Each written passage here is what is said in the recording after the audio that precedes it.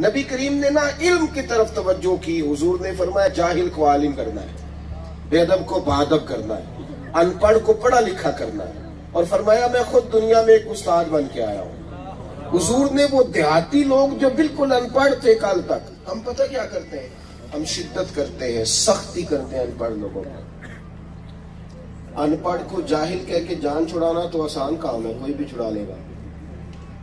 मैं भी तकरीर करता हूँ बल्कि जनाजे के सामने खड़े होकर मौलवी साहब कई दफ़ा कह देते हैं लोगों को दुआएँ कनूत ही नहीं आती।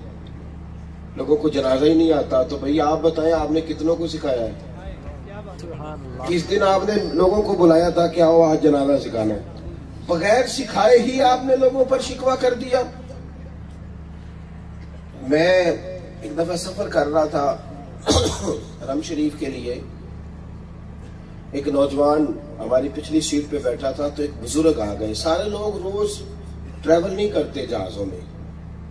सबको नहीं पता होता कि मैंने बोल्डिंग कैसे करानी है और सीट बेल्ट कैसे बांधना है और मैंने अपनी सीट देख के वहाँ कैसे सबको नहीं पता होता। तो नौजवान पीछे बैठे, एक बुज़ुर्ग आ गए, और वैसे भी कुछ गरीब होते हैं, कमेटियाँ डाल के भी तो उमरा करने जाते हैं। कई महीने ते बरस गए, ते तेरी दीद नु दीदे तरस गए। कई कमेटियाँ डाल के भी तो जाते हैं। तो एक बाबा जी अंदर दाखिल हुए तो उनका ख्याल था, बस है। वो जहाँ सीट मिली बैठ गए। अब वो हमले के लोग झगड़ा करने लग गए। पीछे जो नौजवान बैठा था, वो क्या कह रहा है? साढ़े पिंड के बंदे नहीं सियाने हो सकते।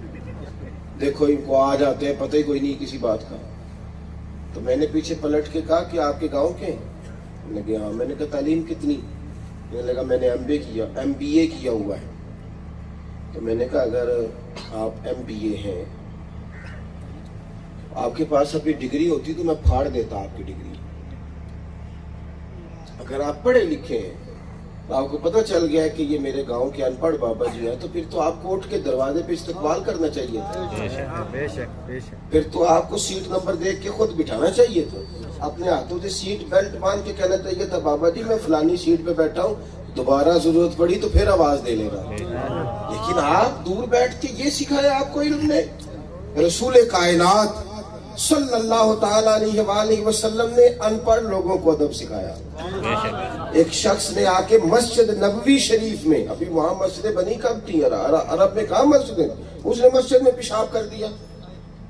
सियाबा को जलाल आया। तो मेरे महबूब पाक सल्लल्लाहु अलैहि वसल्लम ने फरमाया, ठहर जाओ। उसने पेशाब कर लिया तो फरमाया, इस पर पानी बहाओ। और फिर अदब के साथ दस्ते शफकत फेर के फरमाया, मस्जिदें पेशाब के लिए नहीं होती। उस शख्स को भी समझ आ गई, नज़रें झुक गई। बल्कि इससे ज़्यादा आप आगे बढ़े तो कादिया याज रहमतुल्लाह ने हदीस लिखी है। सियाब के राम फरमाते, एक शख्स ने आके हजूर से कुछ मांगा।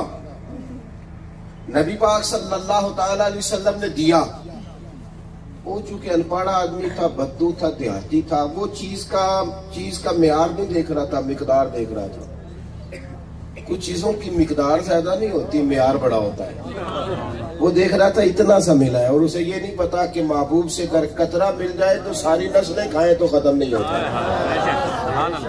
वो समझ रहा था ये तो थोड़ा सा है। उसने ना फौरी तौर पर एक बात की जो ठीक नहीं थी। वो कहने लगा, जी, मैं तो बड़ी तारीफ़ सुन के आया था, माशाल्लाह, आपने तो कुछ भी नहीं दिया। हज़रत उमर फारूक ने तलवार निकाल ली फरमाया इसकी गर्दन मारूँगा हजूर ने फरमाया ऊपर ठहर जा। महबूब घर ले गए। जितना दिया था ना उससे डबल करके दिया। उसकी आँखों में और तलब देखी तो और डबल कर दिया। और तलब देखी तो और डबल किया। अब वो उठाता है तो उससे उठाया नहीं जाता। मेरी बात की समझ आ रही है? कहने लगा सोने आ दुनिया बड़ी देखी है आप जैसा सखी कोई नहीं देखा। फरमाया यही बात बाहर जाके भी करोगे सियाबा के बीच भी? कहने लगा जी कर दूँगा। वहाँ से बाहर आया और आके कहने लगा लोगों जमाना बड़ा देखा। इन जैसा सखी कोई नहीं देखा। अब महबूब क्या फरमाने लगी? फरमाया अगर तुम इससे पहले कत्ल कर देते दो में जाता। अब जिस अकीदे में है, रब जन्नत अदा करेगा। फरमाने लगे, महबूब पाक सलात सलाम के सुनो, मेरी और तुम्हारी मिसाल उस शख्स की तरह है जिसकी ऊंटनी भाग गई थी, नाक से नकेल निकल गई। लोग पकड़ने के लिए दौड़ते थे, किसी ने नेजा उठाया, किसी ने डंडा उठाया, किसी ने तलवार उठाई। जख्मी तो हो गई, पर वो काबू ना आई। अल्लाह करे मैं समझा सकूँ आपको हजूर फरमाते हैं जख्मी हो गई पर काबू ना आई। फिर उसका अपना मालिक आ गया। उसने लोगों से कहा पीछे हटो तुमने मेरे जानवर को कितनी तकलीफ़ दी? फिर महबूब करीम सल्लल्लाहु अलैहि वसल्लम फरमाते उसने ज़मीन से थोड़ा सा चारा उठाया। ऊंटनी को दिखाया तो वो दौड़ी आई। उसको चारा खिलाया। उसकी पुश्त पर हुजूर ने दस्ते मुबारक फेरा। महबूब फरमाते उसने दस्ते मुबारक फेरा। फिर बगैर किसी की मदद के उस पर सवार हो गया और जाती दफ़ा कहने लगा, तुमने मेरी ऊंटनी को बड़ी तकलीफ़ दी, ऊंटनी मेरी है। संभालने का तरीका भी मुझे ही आता है। गोया महबूब फरमाने लगे, लोगों, उम्मत मेरी है। इसको कैसे दीन सिखाना है, ये तरीका भी अल्लाह ने मदीने वाले रसूल को ही अता फरमाया। किस तरह इनको समझाना है, ये मुझे सलीका आता है। थोड़ा सा ना हिकमत के साथ। हम ना अपने हक में किसी को कायल करें तो हमें सारा तरीका आता है। सही कह रहा हूँ। अपने हक में कायल करना हो तो तरीका नहीं आता। हाँ ना तो करो ना। चले मिसाल देता हूँ, समझ आएगी। पचास हज़ार की ज़रूरत भी पड़ जाए किसी से। फ़ोन किया, भाई किधर है? तो वो कहता है, आप काम बताए, कहते नहीं, टेलीफोन वाला काम नहीं। भाई तू बता, मैं तो दो बजे आऊँगा, रात को कहता तू तीन बजे भी आ, मैं मिल के ही सोऊँगा तुझे। फिर वहाँ जाते ही पचास हज़ार नहीं माँगता।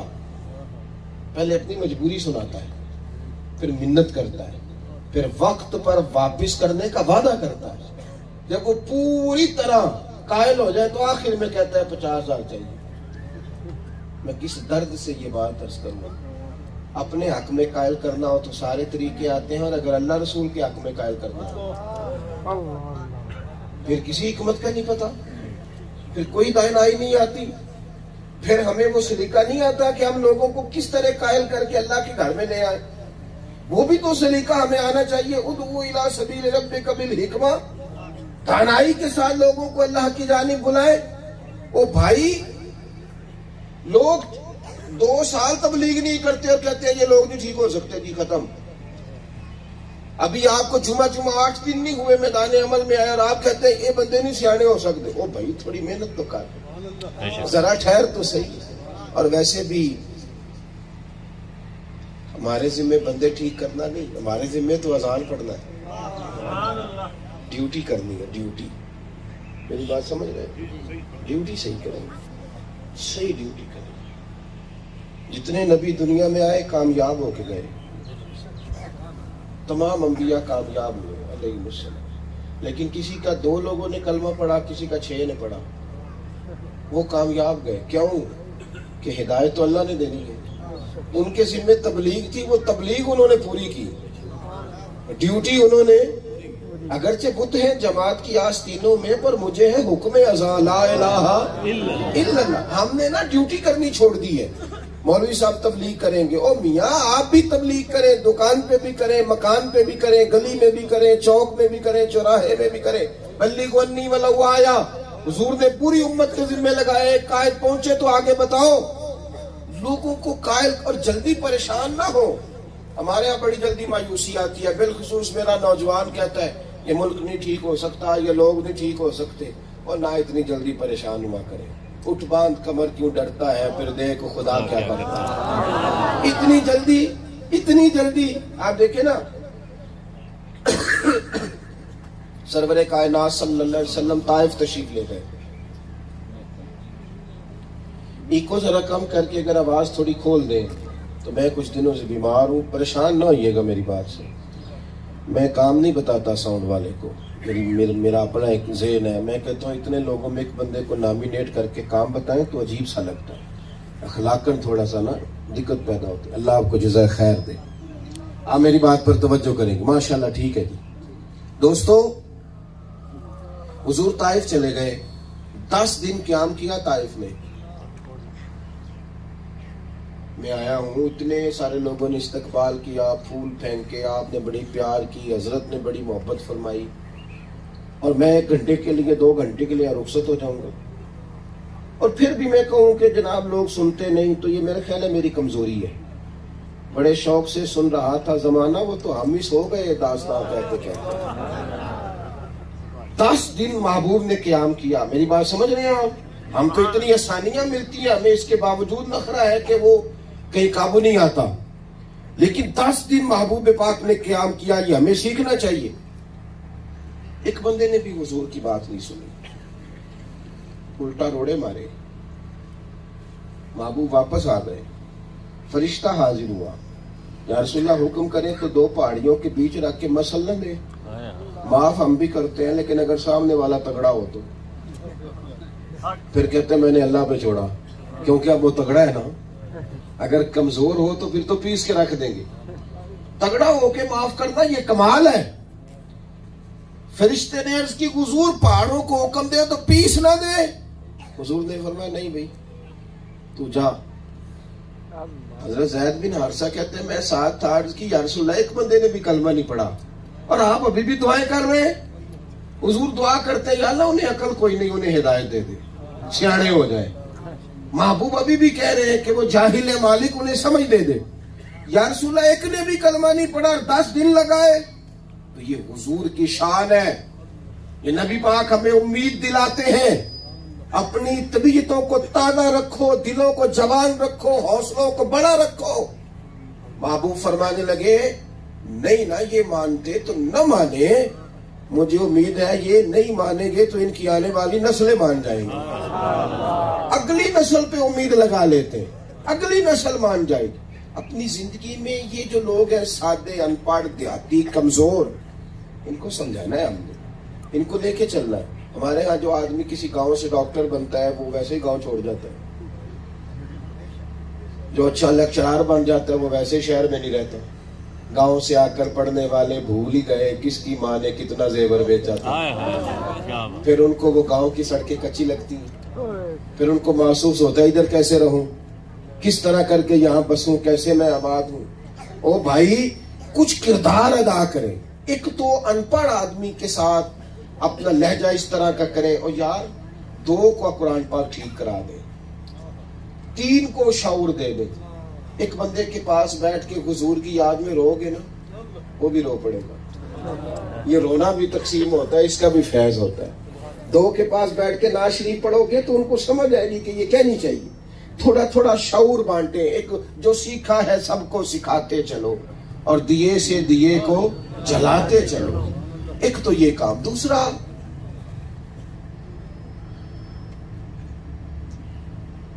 नबी पाक सल्लल्लाहु अलैहि वसल्लम ने ना इधर देखना क्या कहने लगा। सरकार ने ना गुनागारों से प्यार किया किन से जरा बोल के बताना। गुनाह से नफरत होनी चाहिए। गुनागार से थोड़ी कर करनी मुझे अपनी सारी गलतियों समेत अपने आप से प्यार है और किसी की एक गलती का पता चल जाए। भाई और फिर वो ना मकतूबात दो सदी में एक बात बड़ी अनोखी लिखी, हज़रत मूसा कलीम सलाम से रब करीम ने फरमाया, बस्ती में जो सबसे नेक आदमी है ढूंढ के लाए। अब जिसको हज़रत मूसा नेक कहे, वो कितना को नेक होगा?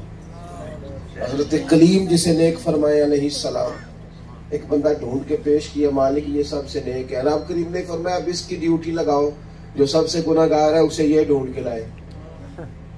वैसे अगर गुनागार ढूँढने की ड्यूटी मेरी और आपकी लगे तो। हमारे अलावा सारे गुनागार कोई सही नहीं बनता ना बाबडे वाले ठीक, ना पुलिस वाले ठीक, ना रेलवे वाले ठीक, ना जरात वाले ठीक, ना भी ठीक, ना पीर ठीक। कोई ठीक नहीं सिर्फ़ मैं ठीक। खुदा मुझे ऐसी खुदाई ना दे कि अपने सिवा कुछ दिखाई ना दे। अल्लाह बचाए उस काम से कितना इंसान बदगुमान हो जाए रब के बंदों से। आप ढूंढ के लाए तो शख्स अर्ज़ करता है हुजूर ये तुम काम मेरे लिए मुश्किल है। फरमाया भाई आप नहीं करना अर्ज़ की तीन दिन की मोहलत दे। तीन दिन की मोहलत मिली।